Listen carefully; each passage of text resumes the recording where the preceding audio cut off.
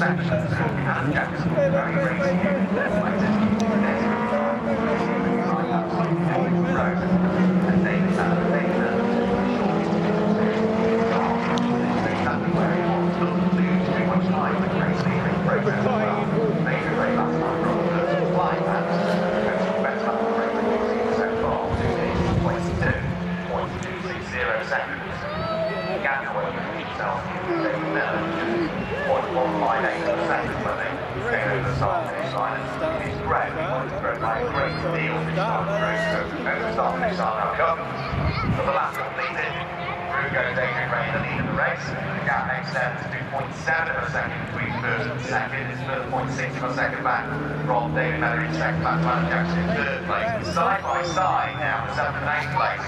Stuart Philp have to defend from the MGF of Mark Wayne heading score. He just oh, hit the black and light blue MGZR in what is seventh position. So Mark Baker will have to try and another challenge somewhere and see whether he's got something else he can offer up to Stuart Philp to try and sneak his way through and get himself up into seventh place. It didn't work at least on that occasion.